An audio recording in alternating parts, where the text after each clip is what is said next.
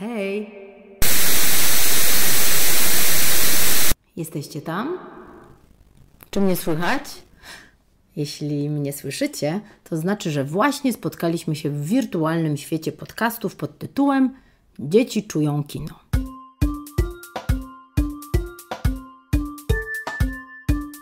Przygotowują je specjalnie dla Was cztery fajne dziewczyny: Miłka, Małgosia, Paulina oraz ja. Nazywam się Asia Bronisławska, ale mam też pseudonim artystyczny Asimina. Być może spotkaliśmy się kiedyś na warsztatach dźwiękowych, które prowadzę jeżdżąc tu i tam już 25 lat. Może widzieliśmy się w muzykodromie, stacji lotów muzycznych w Katowicach, albo w Tychach na cyklu AUXO for Kids. Mogliśmy się też spotkać w Nosprze, a może na koncercie zespołu, w którym śpiewam i gram, Mo Dramas. A ostatnio jestem pająkiem, albo raczej muchą złapaną w sieć przez wirusa i staram się działać online. Zanim opowiem Wam więcej, włączcie pauzę i przygotujcie szybko kartkę i kredki. Przydadzą nam się trochę później. Hop, hop, mamo, tato, pomożecie?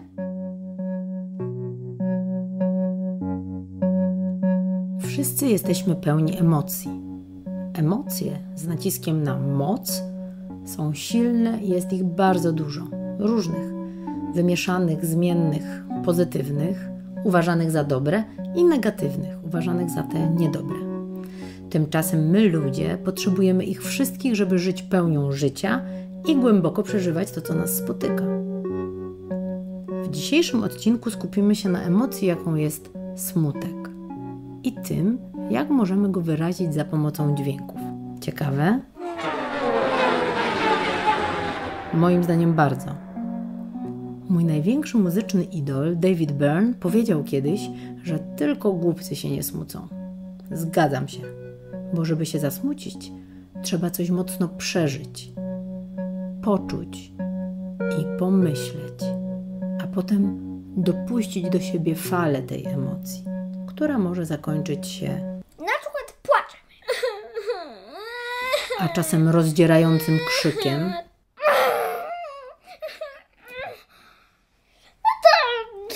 No, robię głośne słowa, jestem trochę taki niegrzeczniakiem, smutakiem. ciężkim i głębokim westchnieniem, albo po prostu ciszą, kiedy zabraknie nam słów i dźwięków, żeby wyrazić to, co czujemy.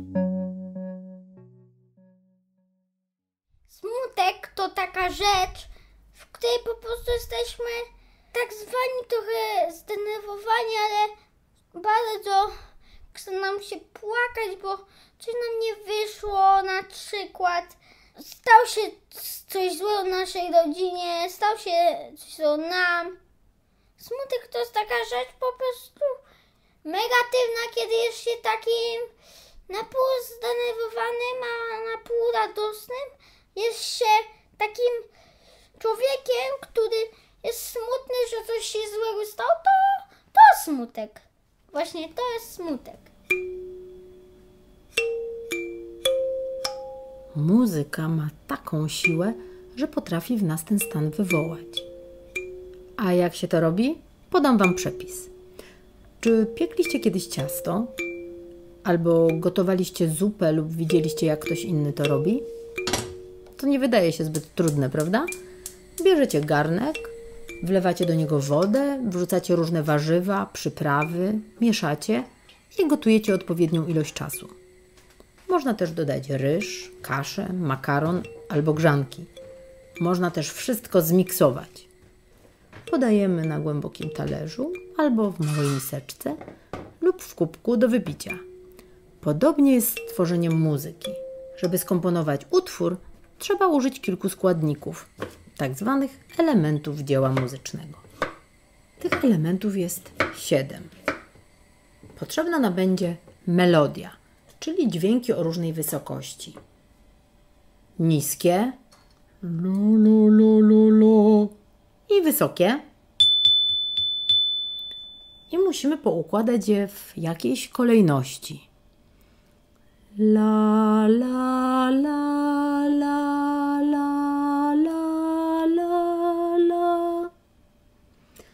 dołóżmy jakiś rytm. Niektóre dźwięki skrócimy, a inne wydłużymy. La la la la la la la la la la la la la la Wybierzmy tempo. Możemy zagrać je wolno. La la la la la la lub szybko. La la la la la la la la la la la la la Dynamika. To znaczy, że muzyka może być głośna, forte lub cicha. Piano.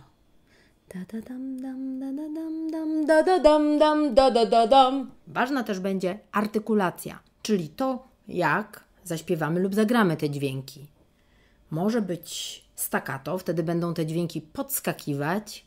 La la la la la la la la la la. Albo legato będą ze sobą połączone. La la la la la la la la la la la la la la la Harmonia to jak te dźwięki ze sobą będą współbrzmieć.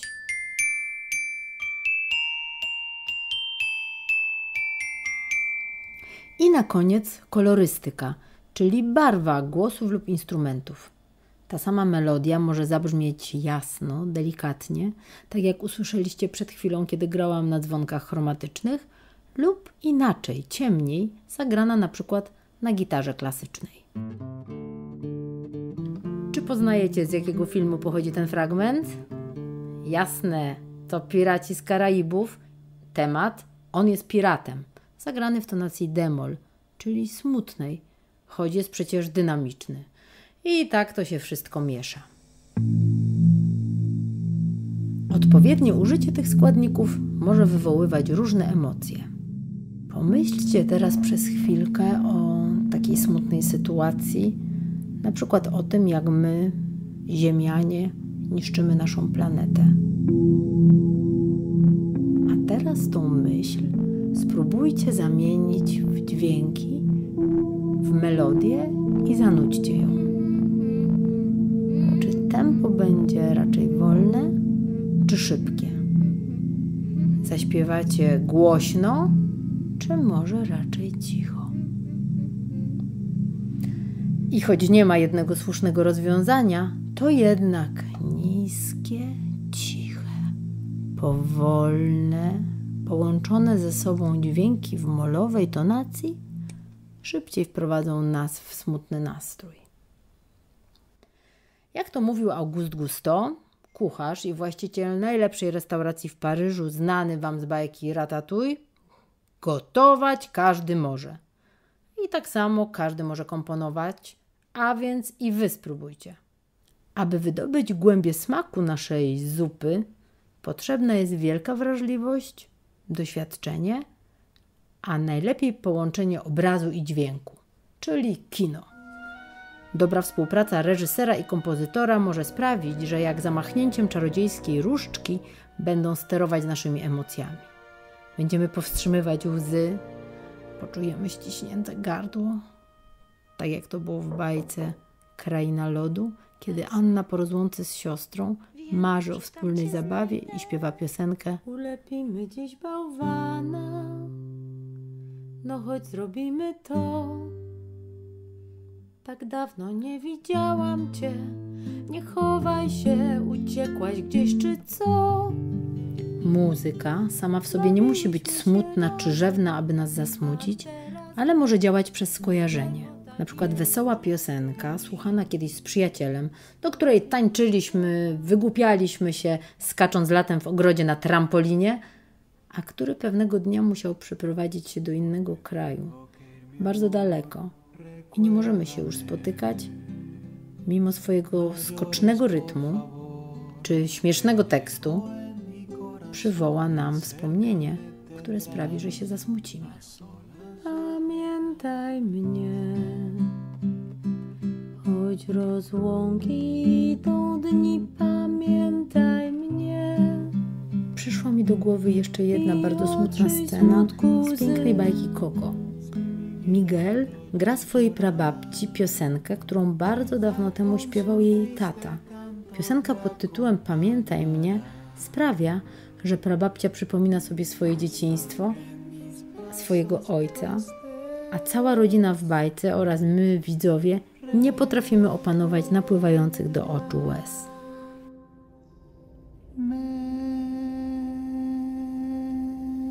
Posłuchajcie, jaka scena i z jakiego filmu poruszyła i zasmuciła Alka, który zgodził się porozmawiać ze mną o smutku. Jest to film Bumblebee. Na początku była taka muzyka taka dun dun dun dun, a później widzimy wszystko rozwalone, całą planetę Transformersów. To mnie trochę ruszyło, że drobiazgi są takie rozwalone, pełno autobotów martwych, no planeta się pali jak widać. Trochę chciałbym się płakać, że tak źle mam tam. Gdybym ja tam był, już bym zginął. No i tak się trochę, trochę mogłem tak zasmucić. Smutek może w nas wywołać nie tylko muzyka, ale także odgłosy. Na przykład krople deszczu uderzające o szybę, skomlenie czy piski szczeniaczka, który zgubił się w wielkim mieście, miauczenie kotka, który nie potrafi zejść z drzewa, hukanie sowy też nie brzmi zbyt wesoło. Płacz, choć nie znamy powodu, dla którego ktoś płacze, także wywołuje w nas smutek. Wtedy współczujemy. Zrobiło się naprawdę smutno. To może pobawimy się dla rozweselenia. Czy waszym zdaniem smutek ma jakiś kolor? Moim zdaniem smutny kolor to jaskrawy niebieski i czarny. To odczucia Alka. Dla mnie smutek ma kolor biały lub jasno-niebieski. A jakie są wasze skojarzenia? Teraz przydadzą nam się kartki i kredki. Narysujcie na kartce dwa duże koła i zróbcie z nich buźki. Jedną wesołą, w muzycznym języku powiemy durową, dorysujcie oczy, uśmiech, a drugą smutną, molową. Teraz posłuchajcie kilku krótkich fragmentów muzyki. Kiedy usłyszycie smutne melodie, na smutnej buźce dorysujcie łzę. Jeśli już wcześniej narysowaliście kropelki łez, teraz możecie je pokolorować.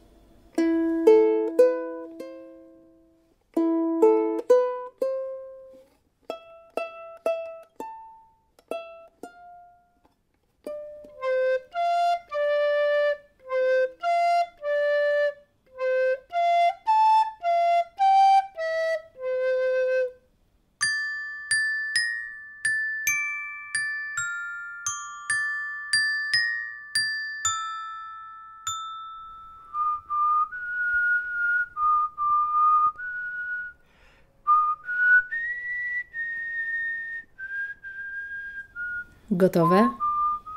Ile narysowaliście łez? Według moich obliczeń powinny być dwie. Ale jeśli u Was jest inaczej, to nic nie szkodzi. Emocje to nie matematyka. Wyników jest tyle, ile ludzi na świecie i wszystkie są ważne.